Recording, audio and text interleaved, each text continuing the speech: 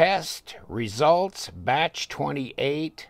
Okay, we got uh, and sundry various brands of whatever. We got a mess here.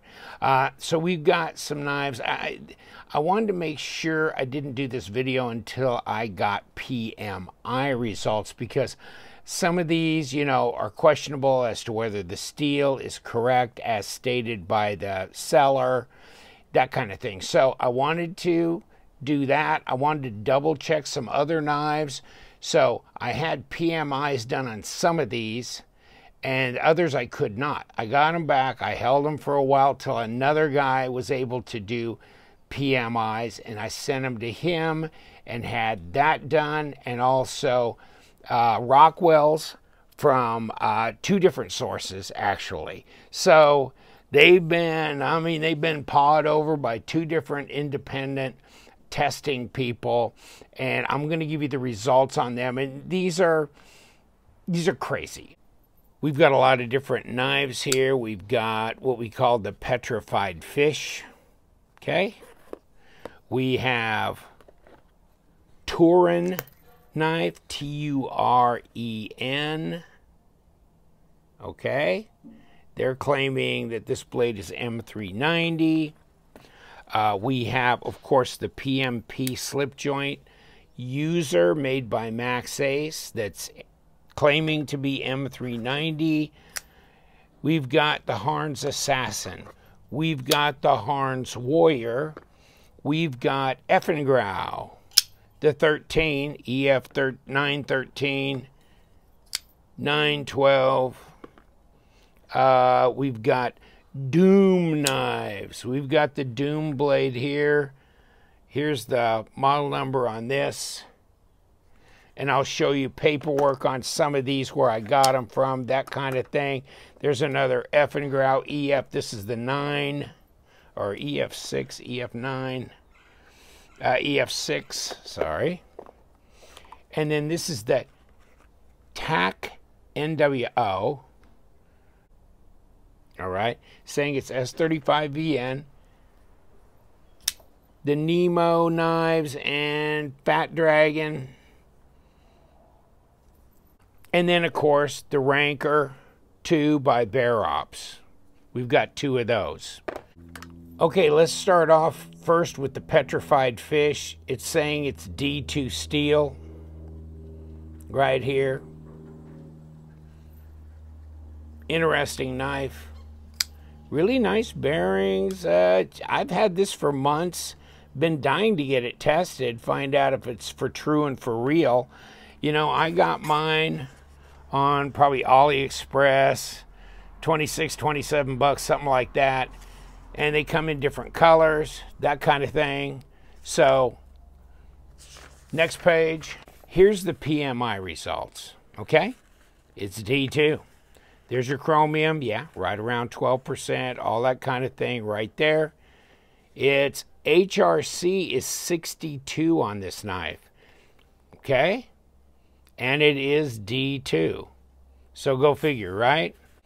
And here you go, right here, petrified fish, 62 HRC, and you can see it's 62 HRC. Next up is my little flying fish by Turen Knives. I thought it was just really a super cool looking, super cool looking knife, snake wood handle on here, mosaic pin, and they're saying M390. And check this out. I think this is a micarta surround here, but really uh, thin slicey blade, and I thought, wow, uh, I think I paid like 82 bucks for it. It's supposed to be like, oh, a, some kind of a skin of, uh, they say python and then they say something else. So uh, some kind of skin, animal skin inserted here, and this is leather, etc. Information on it, here's what I bought, flying fish, Turen, CPM, M390, snakewood handle. Is it real? And guess what? How crazy this is. Check it out. Chromium, 20%. Vanadium, 4.72. Yeah, oh, baby, yes, it is. It's absolutely M390, yes, and the HRC, 61. 61 HRC. And here is the test right here with the knife on it, and it is virtually 61 HRC.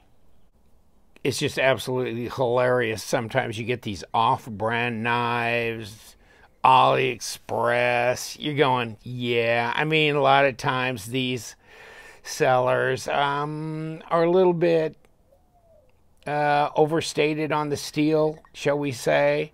Maybe actually uh, not sure of what it is and just restating what the manufacturer tells them. But in this case, it's real M390 at a 61 HRC.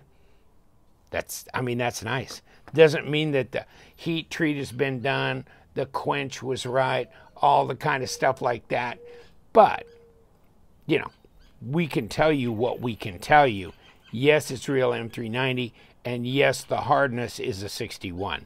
Next, PMP user. This is a slip joint. This is made by MaxAce. Bought this from White Mountain Knives. It says M390.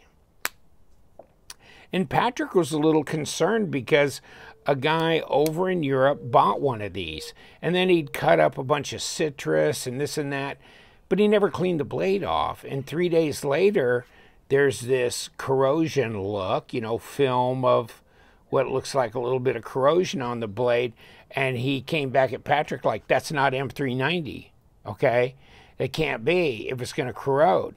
And I told him, anything with carbon in it will corrode, my friend. So uh, if he didn't wash it down, no. I mean, yes, it can corrode, not a problem. But he wanted me to test it anyhow.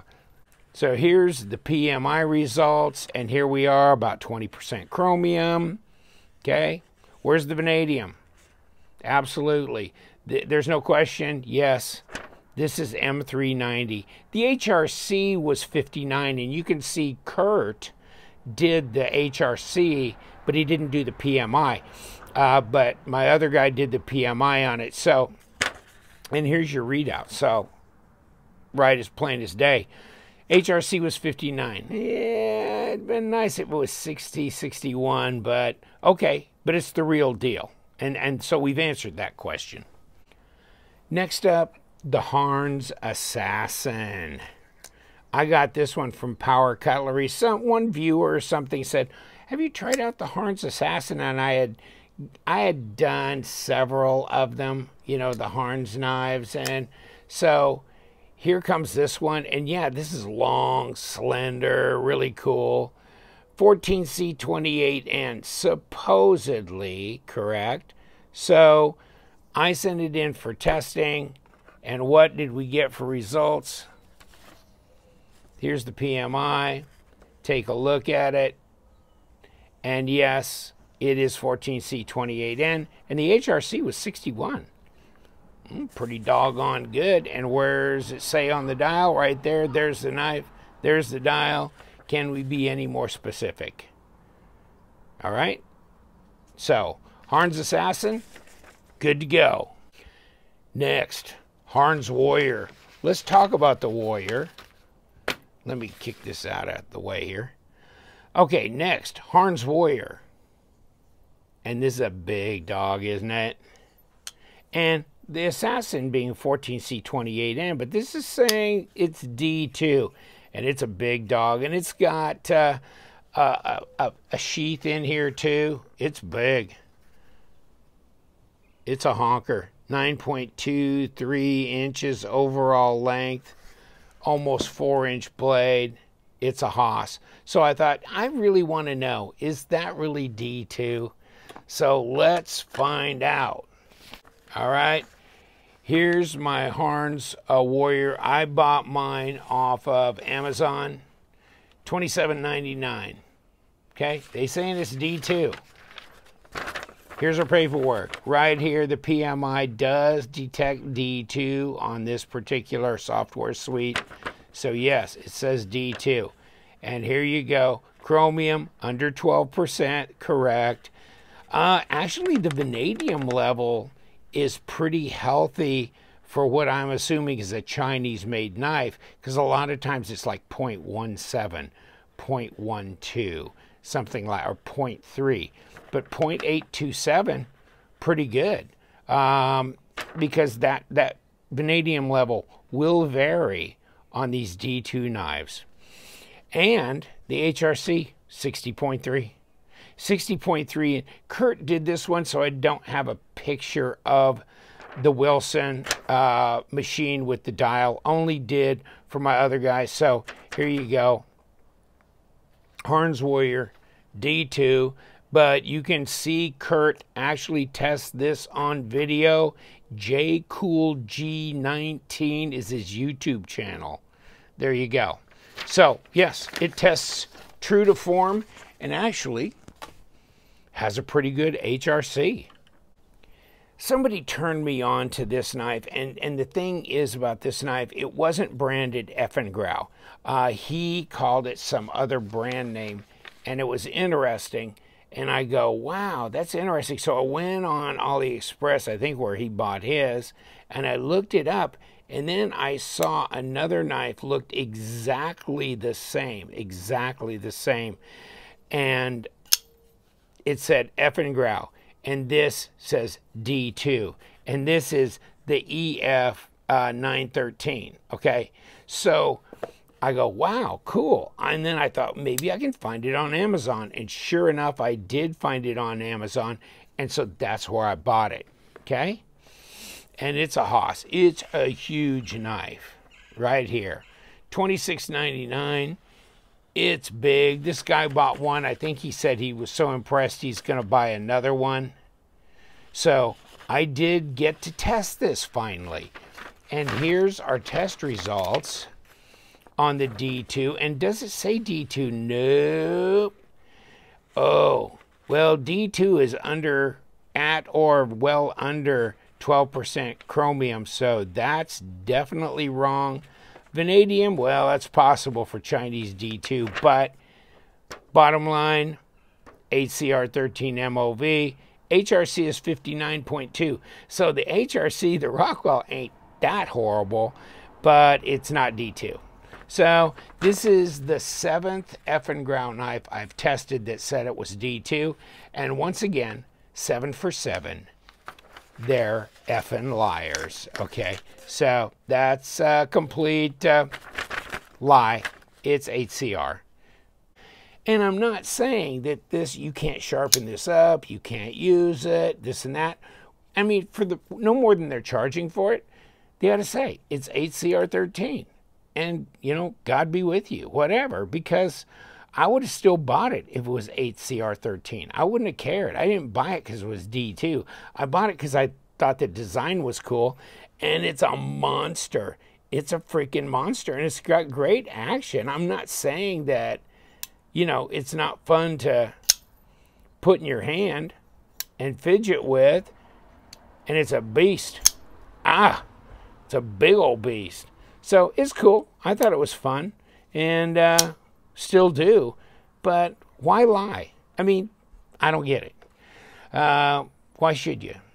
I know everybody went on a D2 craze, but I'm over the D2 spell and I'm ready to go back to AUS 8. I don't care, 440, VG10, you know, put them all in a barrel. They're all good user steels, N690, what have you. So, oh well. Um, the next one, let's go to another Eafengrow. We're seven for seven as a F and lie, and this is the EF12. And so one guy says, okay, here's the deal. They have the EF12. It has titanium scales. It has a titanium pocket clip backspacer, okay? So they are telling me I'm not me, but the guy that was talking to me, that this is for true and for sure D2. Okay? So, thank God I was lucky enough to get it tested. I bought it on Amazon, $69.99. There you go, Amazon. And of course, it's D2. It's titanium. It's awesome. And it's a lie. It's a lie. Chromium's too high, so this is in the 8CR area. And that's exactly what my guy is saying. It's 8CR 13. HRC is 57.3, which ain't nothing to brag about, but probably 56 plus, I don't I can't remember 8CR 13 if it's 58 to 61 can't remember the acceptable range we had on our chart. You guys can look at it because I'll have the link there to our actual spreadsheet. But so it's not far off of acceptable but it is a little soft. And of course yes it's not D2 not by the wildest stretch of your imagination so let's get off of the F and growl thing and let's go to doom, doom and gloom, right? Okay, here's the doom knife. And somebody, uh, you know, mentioned to me, hey, what's going on? These are on AliExpress and they're doom blades. And uh, let me see if I can work this box out without cutting myself. And here's this. Tape the box back together. It's a piece of shite, but in case you are interested. And he was going, you know, if this is really D2, this is a heck of a buy at $15.33. And they come in different colors. And I'm going, wow, okay, that's interesting. I mean, 15 bucks, hell, I'll give it a shot. And the results are it should be an effing growl because it's an effing liar. it's not D2. Look at the chromium. Way too high, right? Way too high. 5CR15. Oh, and a 54.9 HRC? Oh my God. You wouldn't even have to sharpen this after cutting butter, really soft butter, one time. And then you'd have to sharpen it. Uh, yeah, so, well, nothing like fun. 54.9. So I guess Kurt must have done the HRC because I don't have the picture of the dial. So this will be on his channel. God bless America. So here we go. This one doesn't even say Eafengrow on it, but it's the EF. Came in an Eafengrow box. Says EF6 Tactical. Okay. Got this because Chad in uh, Kansas said, oh, he posted it on on uh, Facebook on one of the groups I'm in. And so I go, oh, that's a cool look. I couldn't couldn't pin the style down for a while, but later, I think I saw a Olamic knife that looked like it. So yeah, they probably uh, did away with that. I mean, took that design and ran with it. Um, so it's interesting. It's got bearings. It flips fine. It's a beast. It's a little edgy around here. Really, if you wanted to really tidy this knife up, take it apart and hit some of these edges and stuff because it's a little grabby, edgy. Uh, so it needs some cleanup. I was a little disappointed the fit and finish wasn't better. And then it's a bit off center. I have to work on that maybe if it's worth working on, but it, it, it, it's got no play. So this one was pretty damn cheap. I got it where he got his on Amazon. $25.99. Oh my God, it's 9CR18. So they're not saying it's D2, right? F and growl. What is this, number nine? Okay. We had six that were F and liars. Seven, eight. This would be number nine. Okay, so number nine. Are we nine for nine or what? Let's find out here we go, but doesn't matter. Chromium, no, whatever. It's it's not D2. And no. 5CR15. Okay. And the HRC is a lovely, nice and soft and comfortable 56.5. So there you go. Maybe that might be actually an acceptable range for 5CR. Uh, I forget now. So there you go. Nine for nine. We're an effing liar. And there you go. Oh, are we at a 72? Oh, not even close. Oh my God. soft and lovely. So, yeah, nine for nine. Bam. Okay, so here comes another story, right? I got to quit hanging out on Amazon. I'm getting influenced in a bad way.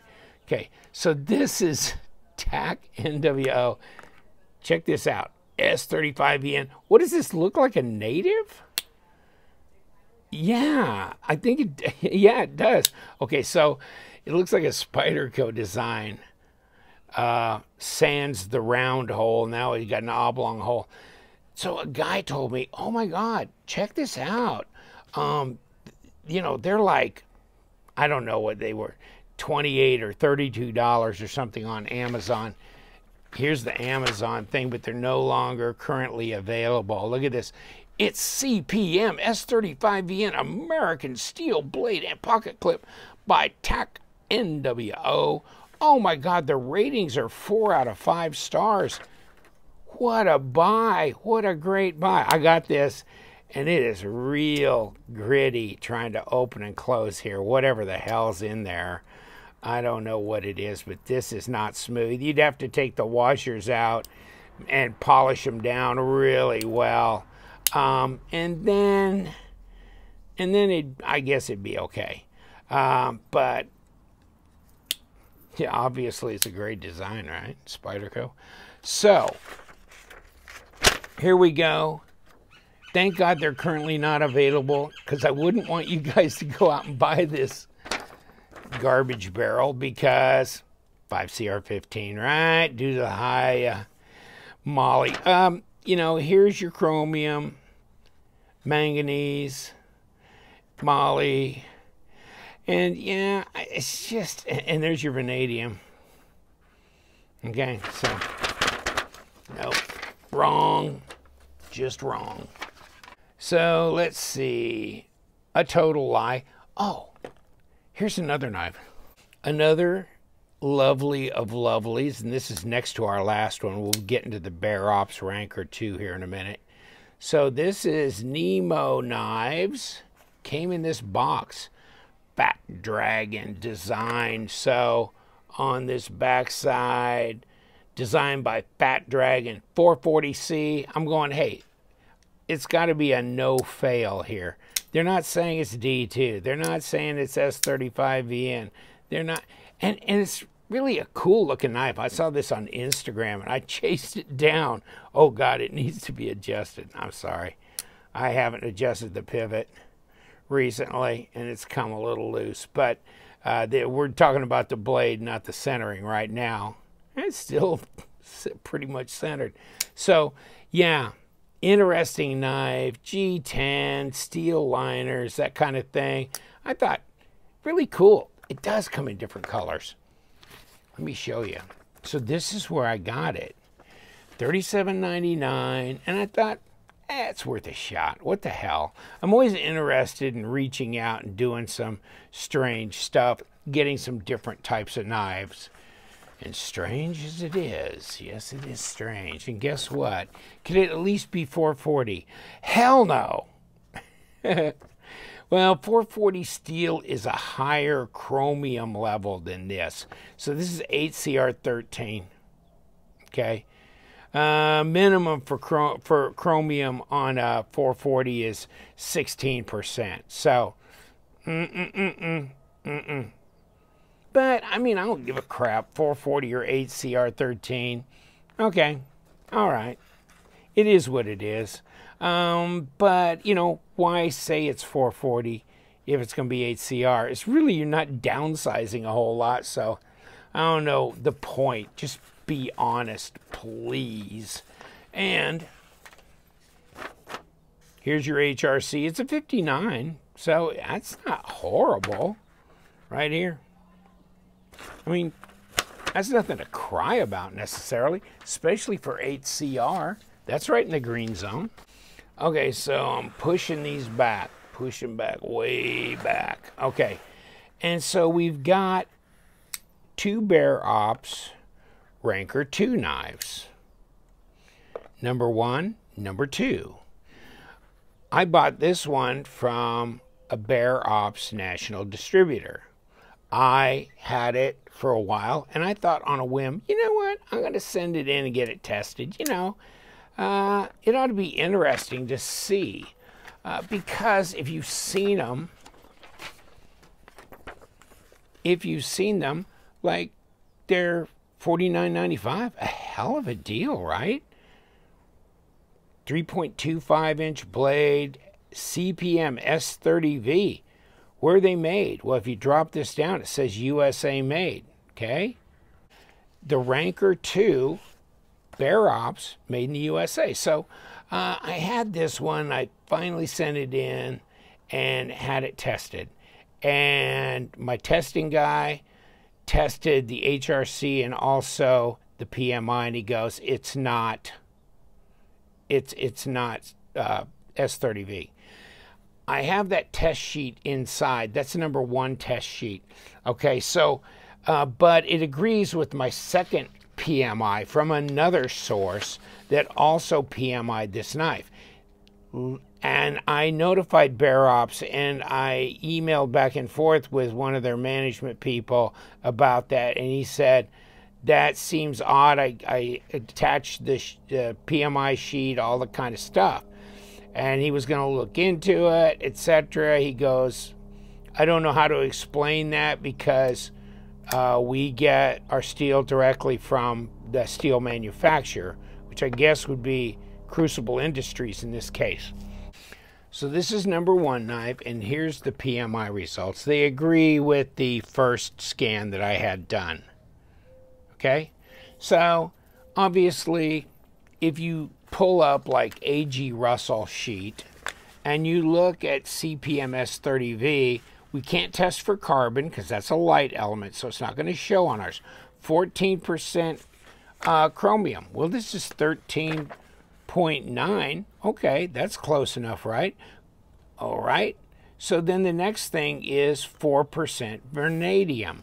Well, here, if you can see the vanadium content, it's 0.174.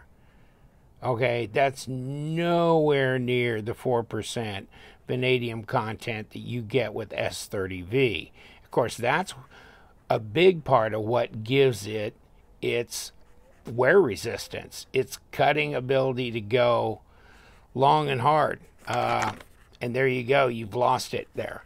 So, and then Moly 1% according to this chart, and your Moly down here is 0.599.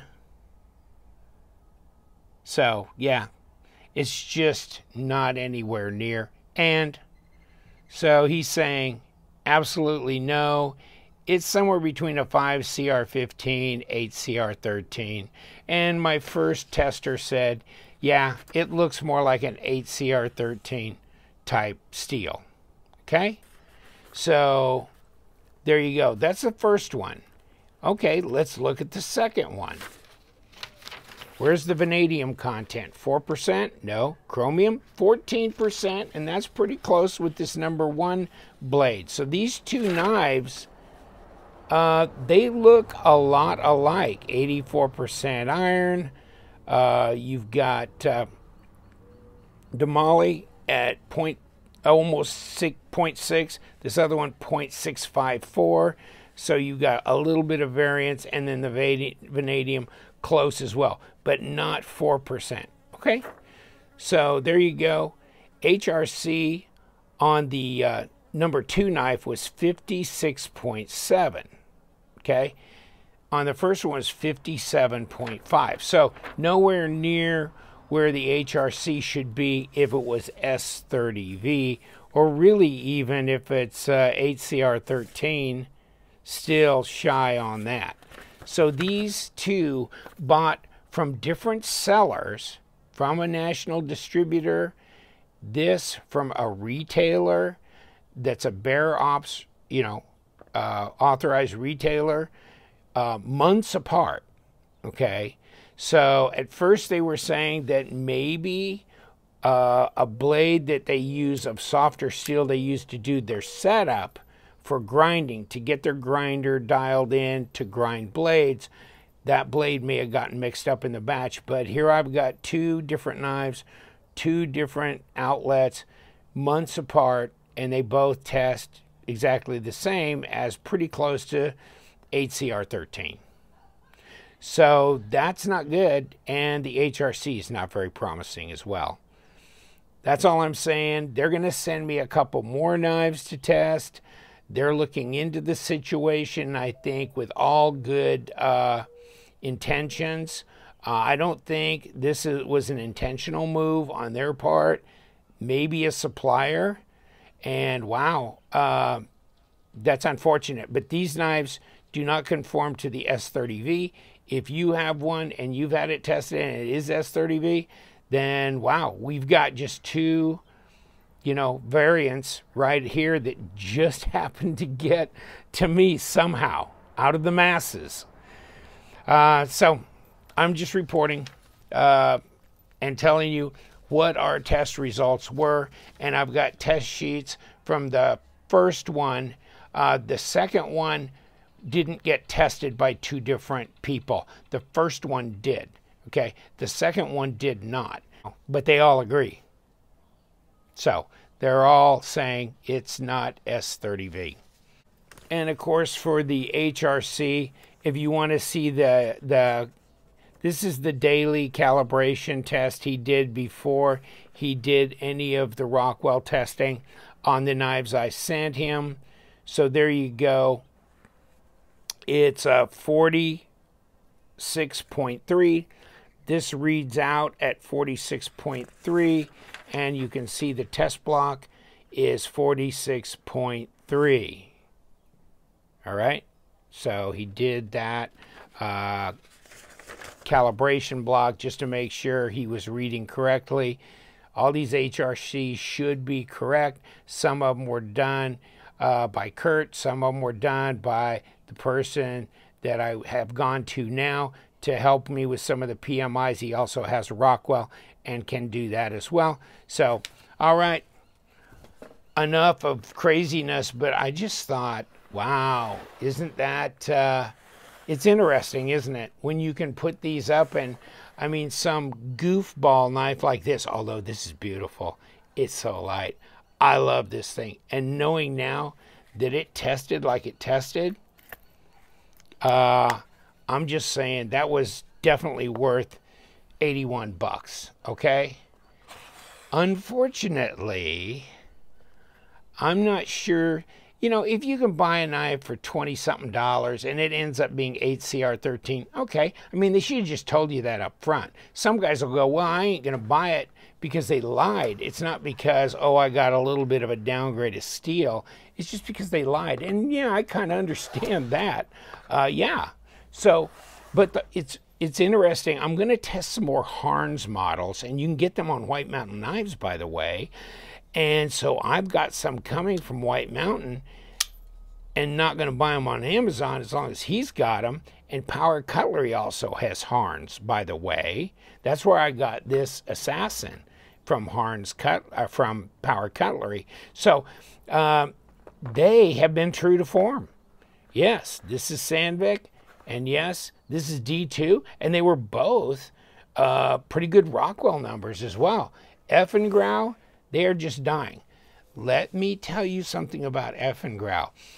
If you buy a CH brand knife from Eafengrow, do not call it an Eafengrow. Eafengrow will sell it on Amazon under their seller name of Eafengrow. Look on the blade.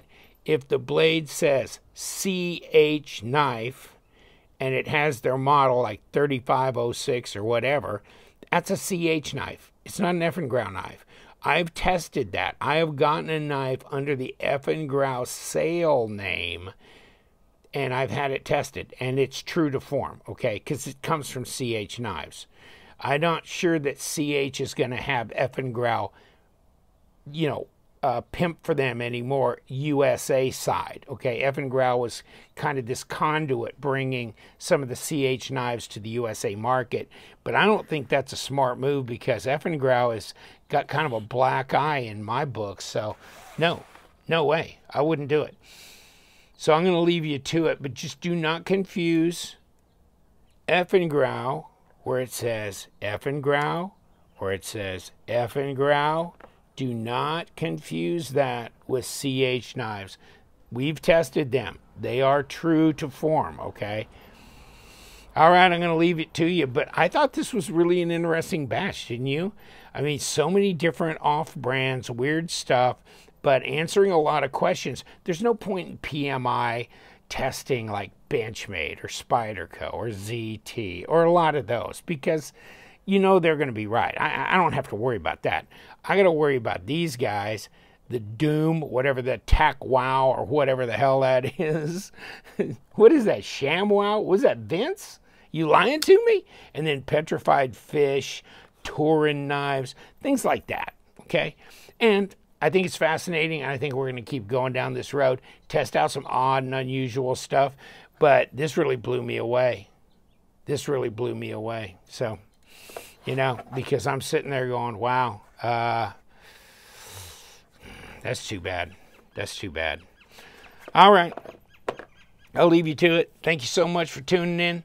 Batch 28 in the books. And you know what we do around here. We love them knives, so you guys stay sharp.